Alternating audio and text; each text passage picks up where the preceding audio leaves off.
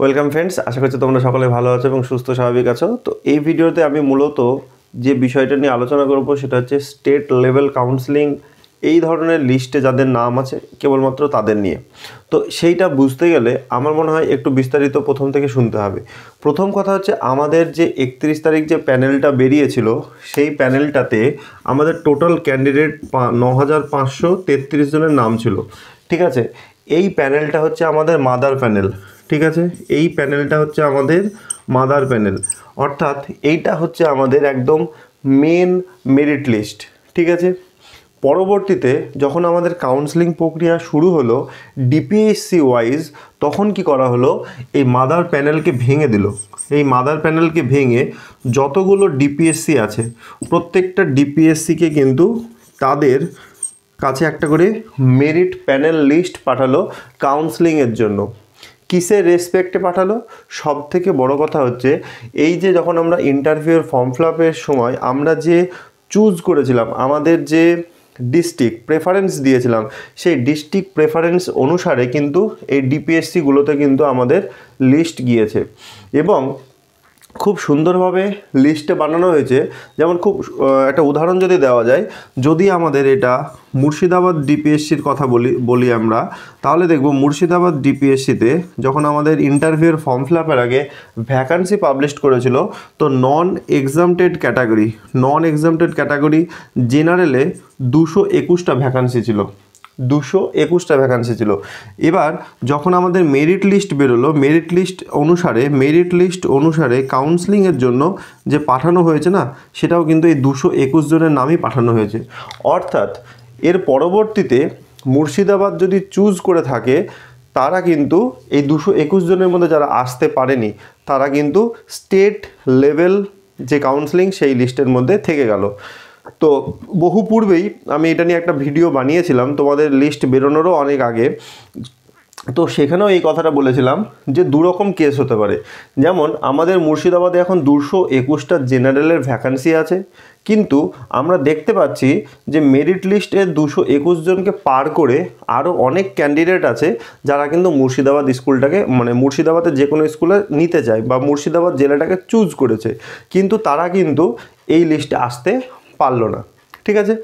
আবার উল্টো দিকে যদি আমরা দেখি, এই নন এক্সামটেড ক্যাটাগরিতে যদি জেনারেলে না গিয়ে আমরা যদি দেখি এসটি ক্যান্ডিডেট তো এসটিতে আমরা দেখতে পাবো, মুর্শিদাবাদে আমাদের ভ্যাকান্সি আছে এসটিতে ছাব্বিশ জন। এবং খুব অবাক করা কাণ্ড, এই ছাব্বিশ জনের মধ্যে নন এক্সামটেড একজন ক্যান্ডিডেট তাও আমার বাড়ি থেকে খুব কাছে, এইরকম একটা এলাকাতে একটা ক্যান্ডিডেট ছিল, ওই কিন্তু টোটাল মুর্শিদাবাদের নন এক্সামটেড হিসাবে কিন্তু চাকরি পেল। ঠিক আছে? তাহলে এই যে বাকি পঁচিশটা সিট এই পঁচিশটা সিট কিন্তু আমাদের অ্যাভেলেবেল হলো। তাহলে বোঝার বিষয়টা কি? আমাদের মাদার প্যানেলে যার যেখানে র্যাঙ্ক ছিল যে যত নম্বর পেয়েছিল সেইটার রেসপেক্টে সেইটাকে সুন্দরভাবে ভেঙে ভেঙে ডিস্ট্রিক্ট প্রেফারেন্স দিয়ে আমাদের যতগুলো ডিপিএসসিতে ছিল, প্রত্যেকটা ডিপিএসসিতে কিন্তু আমাদের এই মেরিট লিস্ট পাঠানো হয়েছিল। তাহলে মাদার লিস্ট ভেঙে ডিপিএসসি ওয়াইজ লিস্ট বানানো হলো এবং ডিস্ট্রিক্ট প্রেফারেন্স দিয়ে তাদের যতগুলো ভ্যাকান্সি ছিল সেই রেসপেক্টে কিন্তু আমরা ক্যান্ডিডেট পাঠিয়ে দিল আমাদের West Bengal board of primary education এবার কি হচ্ছে? এবার আমাদের কাউন্সেলিং প্রক্রিয়া কিন্তু শুরু হয়েছে। কাউন্সেলিং প্রক্রিয়া শুরু হওয়ার পর এখানে কিন্তু দু তিন রকম ইকুয়েশান দেখা যাবে। কীরকম এক, এই যে দুশো একুশটা সিট আমাদের অ্যাভেলেবল স্বরূপ, আমরা দুশো একুশ জন ক্যান্ডিডেটের নাম দিয়েছি। এই দুশো একুশ জন ক্যান্ডিডেট কি ওখানে প্রেজেন্ট থাকবে? এটা হচ্ছে একটা বড় প্রশ্ন। ঠিক আছে? দুশো একুশ জন যে ক্যান্ডিডেট আছে ধরে নিলাম তারা কিন্তু সবাই প্রেজেন্ট হলো। তাহলে আমার দুশো একুশটা স্কুল কিন্তু ফুরিয়ে গেল। পরবর্তীতে নন এক্সামটেড ক্যাটাগরিতে এই দুশো একুশটা সিটে কিন্তু আর কেউ চান্স পাবে না। মানে আর সুযোগ থাকল না। এটা একদম বন্ধ হয়ে গেল এই রাস্তাটা। আবার এটাও হতে পারে যে এই দুশো একুশটা সিটের মধ্যে যে দুশো একুশ জনের নাম আমাদের ডাব্লিউ বিবিপিই যেটা পাঠিয়েছিল সেখান থেকে দেখা যাচ্ছে এই ডিপিএসসির মেরিট লিস্টে যে নাম ছিল দুশো একুশ জনের, সেখান থেকে অনেকে কাউন্সিলিং অ্যাটেন্ডই করল না। তাহলে কিন্তু আমাদের এই সিট কিন্তু ফাঁকা হলো। আবার আরেকটা অপশান হতে পারে, যে দুশো একুশ জন অ্যাটেন্ড করল অ্যাপয়েন্টমেন্ট লেটার তাদের নামে ইস্যু হলো, কিন্তু তারা কিন্তু পরবর্তীতে জয়েন করল না। এবার এই জয়েন না করা তথ্যটা আমরা কবে জানতে পারব? একদম পনেরো দিন পর। কারণ পনেরো দিনের মধ্যে জয়েনিংয়ের ব্যাপার আছে। পনেরো দিন হয়ে গেলে কিন্তু আমরা বুঝে নিতে পারব যে কতগুলো নন জয়েনিং সিট আমরা কিন্তু পেলাম। তাহলে এই রকম এই রকম যে তথ্যগুলো, এই তথ্যগুলো প্রত্যেকটা ডিপিএসসি থেকে আবার কোথায় যাবে আমাদের? একদম West Bengal board of primary এডুকেশনের কাছে, অর্থাৎ আমাদের পর্ষদের কাছে। পর্ষদ কি করবে? এই যে রেজাল্ট প্রত্যেকটা ডিপিএসসি থেকে আসলো এবং তাদের কাছে যে ভ্যাকান্সি ক্রাইটেরিয়া ছিল সেইটা। টোটালটা রেসপেক্টে টোটালটা রেসপেক্টে নন জয়নিং মানে নন জয়নিংটা নিতে গেলে একটু পনেরো দিন অপেক্ষা করতে হবে। যদি ততদিন অপেক্ষা করে, তাহলে নন নন জয়নিংয়ের রিপোর্টটা পেয়ে যাবে। আর কাউন্সিলিং অ্যাবসেন্টের রিপোর্ট তো সঙ্গে সঙ্গে পেয়ে যাচ্ছে। তো ওভারঅল সব ডিপিএসসি থেকে তারা কিন্তু আবার ডেটা কালেকশন করবে। সমস্ত ডেটা কালেকশন করার পর আবার নতুন করে একটা নতুন করে একটা মাদার লিস্ট বানাবে। আবার নতুন করে কিন্তু একটা মাদার লিস্ট কিন্তু বানানো হবে। যেমনটা একদম এই ন হাজার পাঁচশো তেত্রিশ জনের ছিল। এবং যখন নতুন করে লিস্ট বানানো হবে, ভেবো না যে সেই লিস্টটা আবার নতুন করে নিজের ইচ্ছা মতন র্যাঙ্ক অনুসারে করবে। কখনোই না। তোমাদের যার যা র্যাঙ্ক এই ন হাজার পাঁচশো তেত্রিশ জনের মধ্যে তোমরা করেছিলে, সেই র্যাঙ্কের রেসপেক্টে কিন্তু এই ডিপিএসসিগুলোতে তোমাদের র্যাঙ্ক ভাগ হয়েছিল। ঠিক যে যে র্যাঙ্কে আছো, সেই র্যাঙ্কগুলোকে সবগুলোকে এক জায়গায় মার্জ করলে আবার নতুন করে যদি র্যাঙ্ক বানানো হয়, তাহলে যে র্যাঙ্কটা হবে, যারা তোমাদের আগে পড়েছিল যারা চাকরি পেয়ে গেছে, তাদেরগুলো বাদ দিলে দেখা যাচ্ছে দেখা যাচ্ছে তোমার এক থেকে, কথার কথা আমি বলছি আর কি, ধরো এক, দুই, তিন, চার, পাঁচ, ছয়। তোমার নাম হয়তো পাঁচ নম্বরে ছিল, ঠিক আছে? এবার দেখা যাচ্ছে এই দুই, তিন, চার এরা চাকরি পেয়ে গিয়েছে, ঠিক আছে? বা এক, দুই, তিন, চার, এক, দুই, তিন হয়তো চাকরি পেয়ে গেছে। তাহলে এই চার নম্বর চার নম্বর, পাঁচ নম্বর, ছয় নম্বর, তোমার যদি নাম এরকম থাকে, তাহলে চার নম্বরটা একে যাবে, তুমি দুয়ে যাবে, ছয় নম্বরটা হয়তো তিনে যাবে। অর্থাৎ তোমাদের এই পাশে যে স্কোর ছিল না, সেই স্কোর ধরে ধরে কিন্তু তোমাদের র্যাঙ্কগুলো হবে। তাহলে কি বললাম? ন হাজার পাঁচশো তেত্রিশ জনের যে ফাইনাল মেরিট লিস্ট বেরিয়েছিল, সেই মেরিট লিস্টকে প্রত্যেকটা ডিপিএসসি থেকে ভাগ করে দেওয়া হয়েছিল। ঠিক আছে? সেই ডিপিএসসির মধ্যে, ভাগের মধ্যে কিন্তু তোমাদের নামগুলোও চলে গিয়েছে, যারা স্টেট লেভেল কাউন্সিলিংয়ে আছো। তো প্রত্যেকটা ডিপিএসসিতে যাওয়ার পর তাদের কাউন্সিলিং অ্যাটেন্ড হয়ে গেল। কাউন্সিলিং অ্যাটেন্ড হওয়ার পর absent non joining total final যে ভ্যাকান্সি সেইটা এবং কারা কারা জয়েন মানে করে গেল বা কাদের কাদের কাউন্সিলিং হয়ে গেল সেই দুশো একুশ জনের নাম যেমন টোটাল বাদ চলে যাবে। এরকমভাবে বাদ ছাদ দিয়ে যারা পড়ে থাকবে মানে এই প্রত্যেকটা ডিপিএসসি রেজাল্ট নেওয়ার পর যারা পড়ে থাকবে মানে যাদের কাউন্সিলিং হয়ে যাবে, তারা তারা তাদের সংখ্যাটা এখানে বিয়োগ করে দেবে। যে যে কজন পড়ে থাকবে, ঠিক আছে? যে কজন আমার পড়ে থাকল, সেই পড়ে থাকা মানুষদের মানে ক্যান্ডিডেটের সংখ্যা নিয়ে একটা নিউ মাদার লিস্ট বানানো হবে। বুঝতে পেরেছ? আচ্ছা এবার এই নিউ মাদার লিস্ট থেকে তোমাদেরকে কি করে নিয়োগ দেবে? এবার তো প্রত্যেকটা ডিপিএসসিতে তো আর অ্যাভেলেবল সিট থাকবে না। দেখা যাচ্ছে কোনো ডিপিএসসিতে হয়তো যেমন আমরা যেমন দেখলাম মুর্শিদাবাদ ডিপিএসসিতে হয়তো যতজন দুশো একুশ জন জেনারেল দুশো একুশ জনকে ডাকলো। কিন্তু এসটিতে ছাব্বিশ জনের জায়গায় একজন পেয়েছে। তাহলে পঁচিশটা সিট ফাঁকা আছে। ঠিক আছে? এই রকম সমস্ত ডিপিএসসি থেকে এক একটা ডিপিএসসিতে এক এক রকম ইকুয়েশন দাঁড়াবে। টোটাল ইকুয়েশানটা নিয়ে ওরা টোটাল ভ্যাকান্সি লিস্ট যখন ওনা, ওনাদেরকে পাঠাবে, ওনারা তখন সেটা দেখবেন।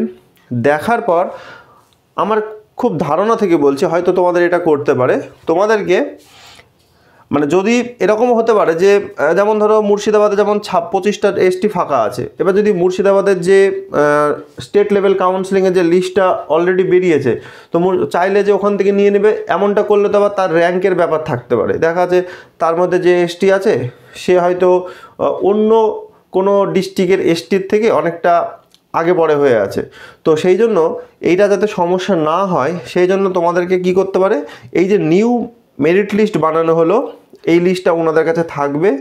তোমাদেরকে খুব বেশি হলে আবার একটা ফর্ম ফিল করানো হবে। আবার একটা কি করবে?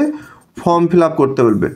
এই ফর্ম ফিল যখন তোমরা করবে, তখন তোমাদেরকে কিন্তু বলা হবে যে, হয় তোমাদেরকে কত ভ্যাকান্সি কোন ডিস্ট্রিক্টে আছে সেটা শো করানো হবে, অথবা তোমাদেরকে বলা হবে যে এই ক্যাটাগরিতে তুমি যখন ফর্ম ফিল আপ করছ, যে এই এই ডিস্ট্রিক্টগুলোতে আর তোমার সিট ফাঁকা আছে, তুমি এবার এদের মধ্যে থেকে তিনটে বা চারটে ডিস্ট্রিক্ট চুজ করে রাখো প্রেফারেন্স অনুসারে। দেখো, দেখা যাচ্ছে, কথার কথা আমি বলছি, ধরো মুর্শিদাবাদে দুশো একুশ জনে দুশো একুশ জনে কাউন্সিলিং আমার হয়ে গিয়েছে দুশো একুশ জন সিট পেয়ে গিয়েছে।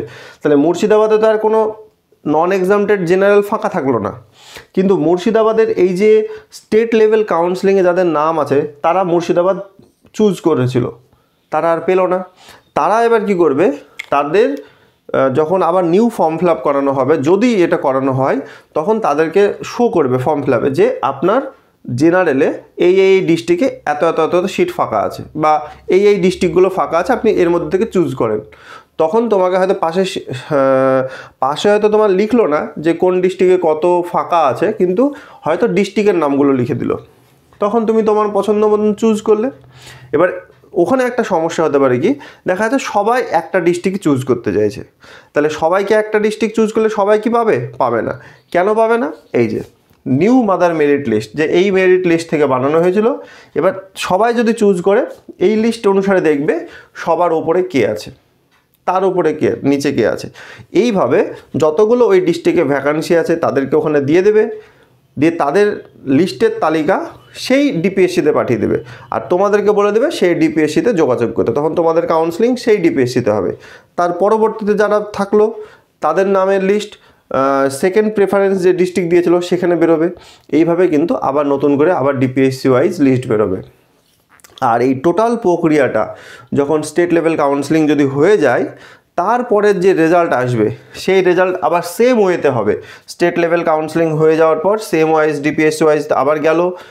যাওয়ার পর এই যে সংখ্যাটা ছিল তোমাদের, সেইখান থেকে আবার প্রত্যেকটা ডিপিএসসি ওয়াইজ কাউন্সিলিং হওয়ার পরে তার যে রেজাল্ট সেটা হচ্ছে এই নিউ লিস্ট থেকে যতজন কাউন্সিলিং হলো, সেটা বাদ দেওয়ার পর যে বাকি নির্যাসটা পড়ে থাকবে যে অবশিষ্ট লিস্টগুলো পড়ে থাকবে, ঠিক আছে? সেই লিস্টের ওপর আবার নতুন করে কিন্তু আবার মেরিট লিস্ট বানানো হবে। এবং সেই মেরিট লিস্ট বানাতে গিয়ে যদি দেখা যায় যে কোনো একটা ডিপিএসসিতে ভ্যাকান্সি আছে, কিন্তু ক্যান্ডিডেট নাই, তখন কিন্তু ওই ফাইভ পার্সেন্ট অ্যাডিশনাল যে লিস্ট বেরিয়েছে, সেইখান থেকে কিন্তু তখন ডাকা হবে। তো এটাই হচ্ছে মোটামুটি আমার মনে হচ্ছে, এমনটাই হতে পারে। তো এবার কাউন্সিলিং যেহেতু অল্প দিন হলো শুরু হয়েছে, তোমাদের কিন্তু আশা করা যায় যদি নন জয়নিংয়ের হিসাব নিয়ে তোমাদেরকে ডাকতে হয়, তাহলে মিনিমাম পনেরো দিন, আর নন জয়নিং বাদ রেখে মানে পনেরো দিন অপেক্ষা না করে যদি তার আগে করে, তাহলে অ্যাবসেন্টের রেসপেক্টে তোমাদেরকে কিন্তু ডেকে তোমাদের এই কাজটা কিন্তু শুরু করতে পারে। তো প্রত্যেকটা কথাই আমি আমার ব্যক্তিগত অভিজ্ঞতা থেকে বললাম, কিছু যদি ভুল বলে থাকি বা যদি মনে হয় যে না, আমি যে তথ্যটা দিচ্ছি ভুল, তাহলে অবশ্যই কমেন্ট করে জানাবে। তাহলে কি হবে? কেউ কিন্তু আমার এই ভিডিও থেকে কিন্তু বিভ্রান্ত হবে না। তো সকলে ভালো থাকবে, সুস্থ থাকবে।